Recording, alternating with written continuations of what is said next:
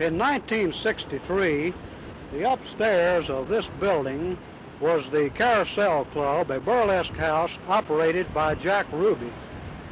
A Dallas Utility Company employee, who was then a part-time cab driver, said that during this period, he once picked up Lee Harvey Oswald, David W. Ferrie, and an unidentified older man and brought them to the club.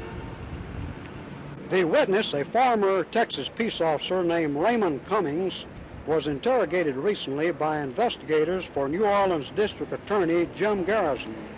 Cummings has told the Dallas District Attorney's Office that he telephoned Garrison after reading that David Ferrie had never been in Dallas.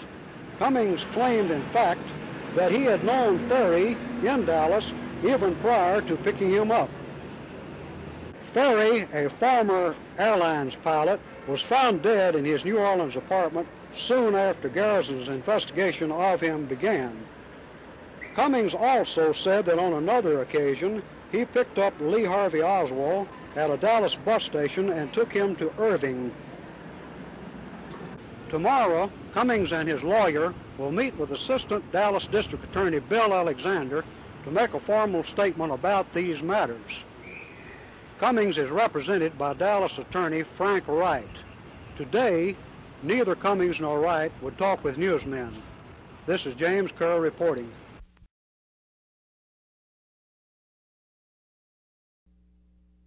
During that period, I picked up a man in my cab who I later found to be Lee Harvey Oswald. We talked at length on the way to the address he had given me.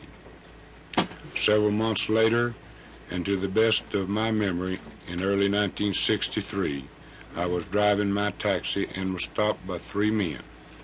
I recognized one of the men as being Lee Harvey Oswald, and we spoke about our previous meeting.